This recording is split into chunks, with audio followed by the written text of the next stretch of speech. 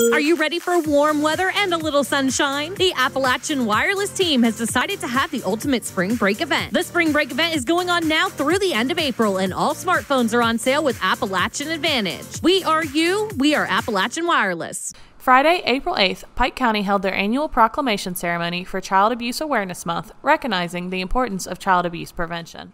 It's a time when we gather to uh, bring attention to the fact that child abuse um, is very prevalent in our communities, but also that um, the best way to end child abuse is to prevent it.